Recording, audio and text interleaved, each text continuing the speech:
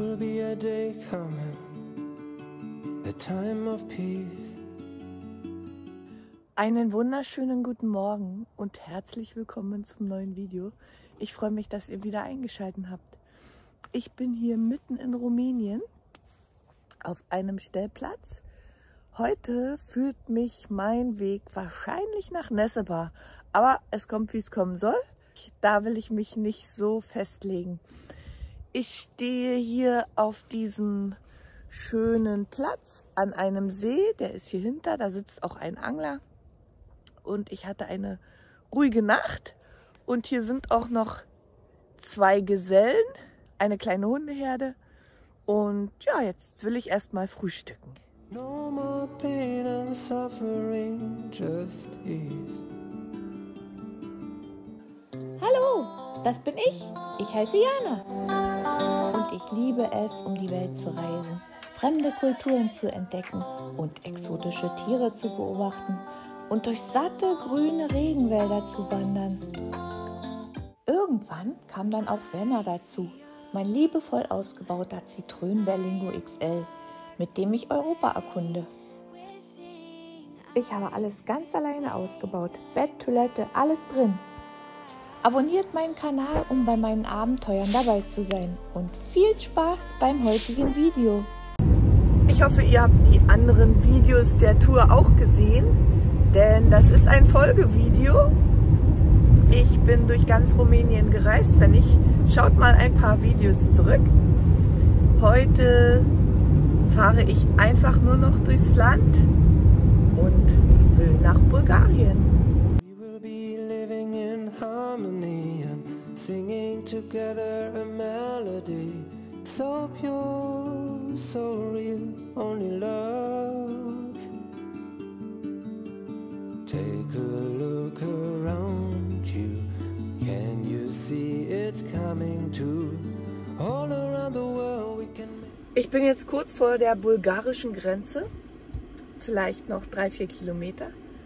Und ich bin durch ganz Rumänien gereist, ohne das Geld abzuheben oder ohne dieses Geld zu benutzen. Ich habe alles mit Kreditkarte bezahlt und beim Bauern durfte ich sogar mit Euro zahlen.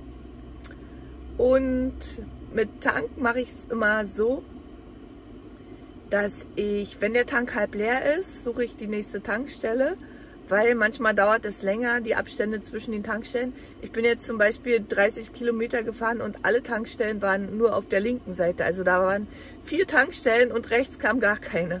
Daher mache ich immer ab halb voll, mache ich immer, halte ich immer Ausschau nach einer Tankstelle. Ich bin jetzt an der rumänisch-ungarischen Grenze und ja, schauen wir mal, was die hier sehen wollen. Ne? Das geht echt zügig hier an der Grenze. Und ich habe gerade gesehen, eine Familie aus Dänemark ist unterwegs in die Türkei. Wahnsinn, mit einem kleinen Auto. Unglaublich. Dieses Mal habe ich die Maut im Voraus online gebucht, weil ich ja so Probleme hatte in Rumänien die Maut zu bezahlen. Daher kann man das gut online machen. Ich kann es euch unten in der Videobeschreibung verlinken. Das ging flott. Ich musste jetzt 3 Euro bezahlen, weil es gibt hier eine Brücke. Ich fahre ja jetzt über die Donau rüber. Und der hat jetzt hier 3 Euro für die Brücke kassiert. Und ich hätte auch wahrscheinlich Maut bezahlen können, denn er hat die Maut, ähm, er hat mich nach der Maut gefragt. Das ist also die 3 Euro Brücke. stand and reach out for others to take their hands. I can see. Jetzt stehe ich wahrscheinlich an der bulgarischen Grenze. What are we waiting for? Now is the time to bring back the love into the human heart. Mm, mm, Jetzt bin ich auf der Grenze. Herzlich willkommen in Bulgarien. We can make it happen today. All we just have to say are words of love that cast out every hate. Every little step in this direction. Ihr diese Schrift lesen? Ich ja, ich kann Russisch. Hier muss man durch so eine Holler fahren. Ich weiß gar nicht, wovor die Angst haben. Ich musste gerade mit dem Auto über so, ich glaube, Desinfektionsmittel fahren. Der ganze Untergrund wurde abgesprüht. So, jetzt die bulgarische Grenze.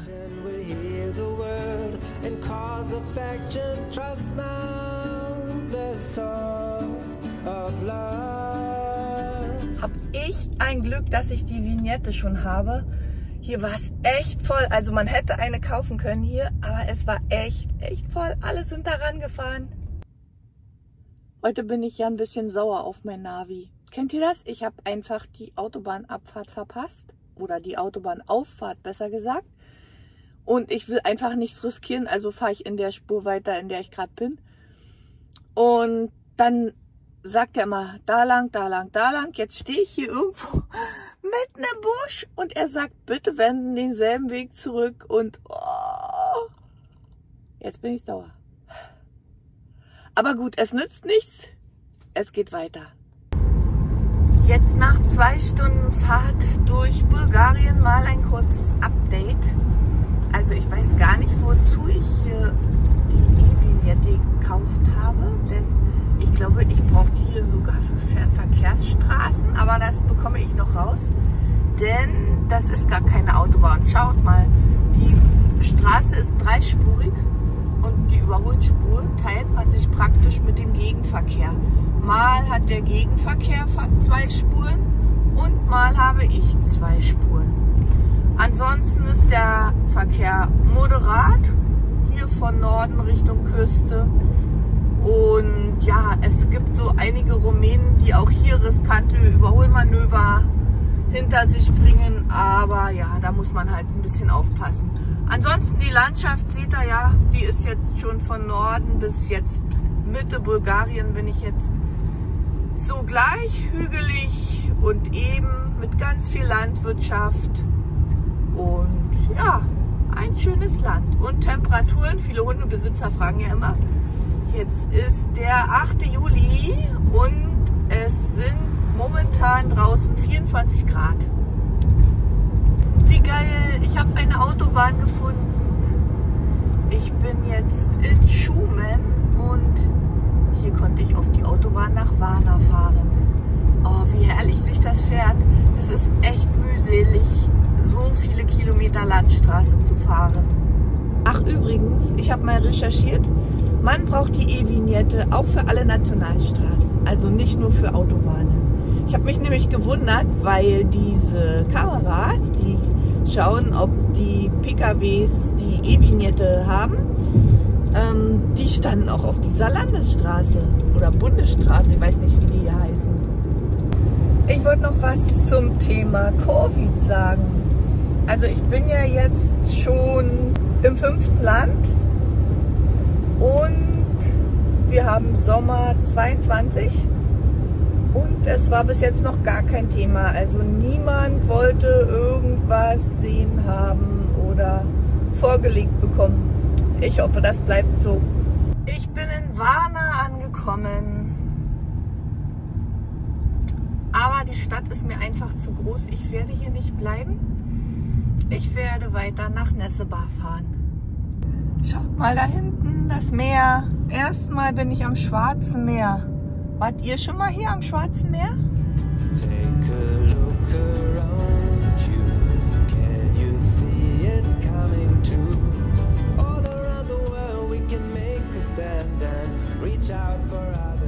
Willkommen in Nessebar. So, hier suche ich mir jetzt einen schönen Stillplatz und dann schaue ich mir mal das Schwarze Meer an. Ein kurzes Update von mir. Ich hoffe, ihr hört mich. Es ist super windig. Das ist ein Restaurant und ich stehe hier am Schwarzen Meer und ich will jetzt hier hinwandern. Das ist nämlich die Altstadt von Nessebar. I can see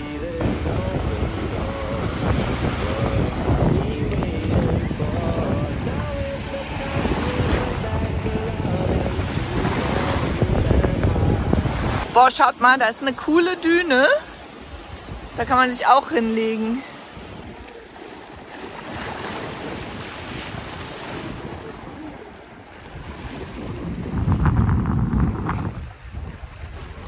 Da hinten ist irgendwo die Ukraine, wo es gerade so schlecht aussieht.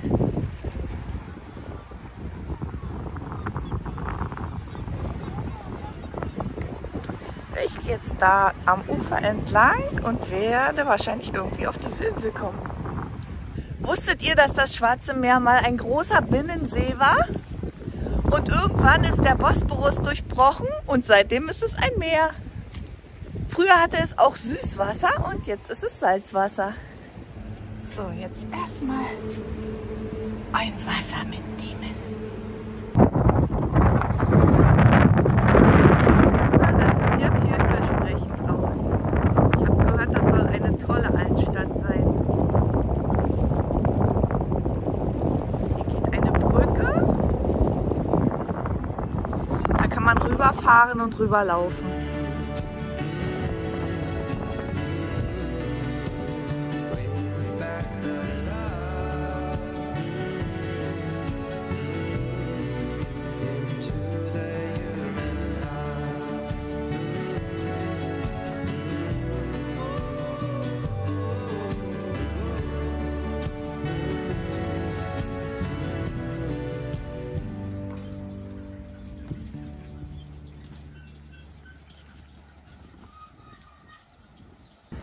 Ticket kostet 5 Lehrbar und Kinder 2 Lehrbar.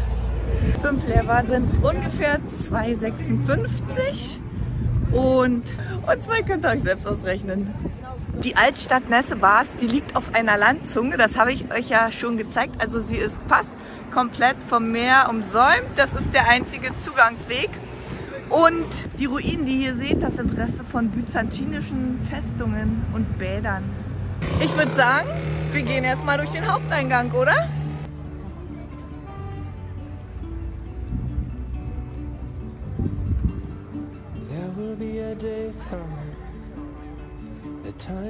Aber schaut mal, sehr touristisch. Viele Reisegruppen sind hier, sind Busse angekommen und ja, scheint weltbekannt zu sein, das Ding hier. No more pain and suffering, just ease. Will be living in harmony and singing together a melody so pure, so real, only love. Erstmal was essen und schaut euch mal an, wie schön es hier ist. Ein richtig uriges Restaurant in der Altstadt von Nessebar. Und ich habe mir das ausgesucht. Mal sehen, ob es genauso gut aussieht. Ich habe gefragt, ob ich hier sitzen kann und er, also auf Englisch, und er sagt ja.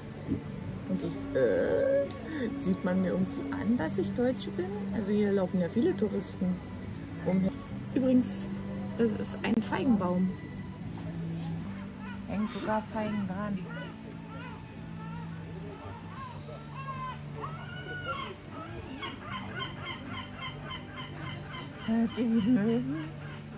Und, was sagt ihr? Sieht es genauso aus? Ja, oder? Voll süß. Hab mir in dem Laden gerade ein paar neue Birkis gekauft. Also nicht die, sondern ein paar schwarze. Sie wollte mir dann alles in eine Tüte packen und habe ich gesagt, nee, brauchst du nicht. Ich habe ja hier einen Rucksack. Und dann sagt sie, nur die deutschen Touristen sagen, sie brauchen keine Tüte. Alle anderen Länder, die wollen immer eine Tüte haben. Das ist sehr gut, hat sie gesagt, sehr ökologisch. Das ist wirklich eine schöne Altstadt.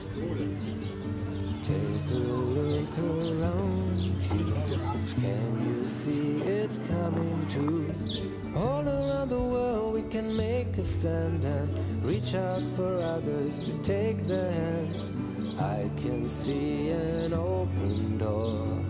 What are we waiting for? Now is the time to bring back the love into the human hearts. Mm. Mm. Mm. We can make it happen today. Just have to say our Words of love that cast out every hate. Every little step in this direction will heal the world and cause affection. Trust now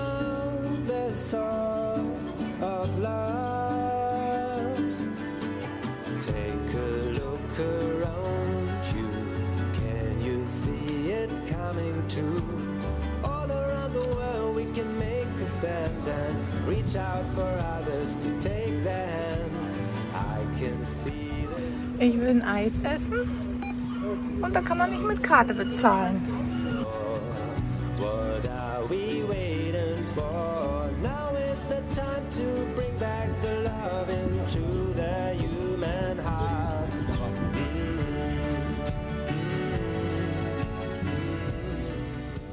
Nessebar wurde vor 3200 Jahren gegründet und 1983 hat UNESCO die Innenstadt in ihr Weltkulturerbe aufgenommen.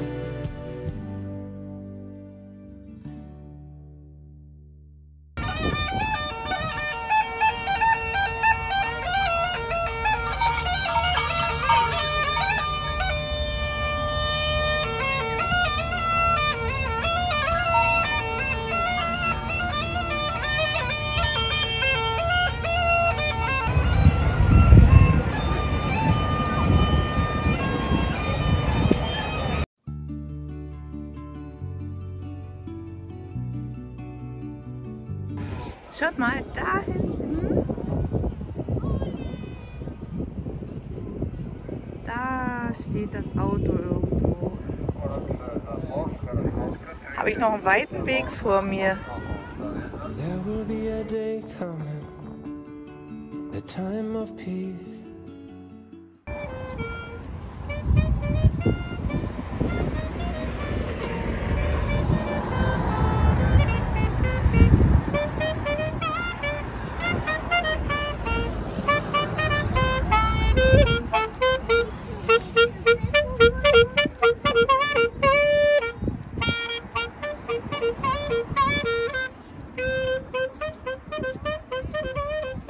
Natürlich auch Bulgarien und generell Balkan habe ich immer wieder diese Rummel- und Halligalli-Maschinen für Kinder gesehen.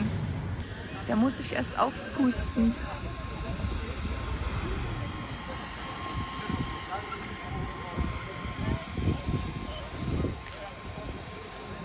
Der Arme, der da drin steckt.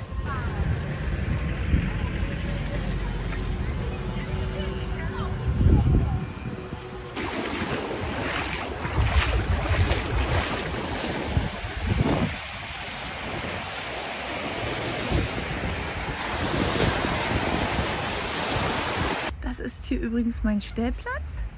Da steht mein Auto und hier ist das Meer. Ganz schön dicht. Gute Nacht. Hat euch das Video gefallen? Dann gebt mir doch einen Daumen hoch. Wollt ihr weitere Videos sehen? Einfach Kanal abonnieren. Bis bald. Tschüss, Benchua. No more pain and suffering, just ease. We will be living in harmony and singing together a melody so pure, so real, only love